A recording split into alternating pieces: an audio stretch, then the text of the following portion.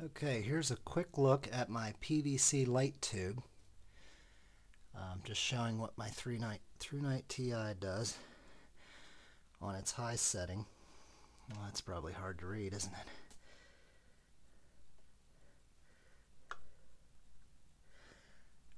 Reading 30.6 lux.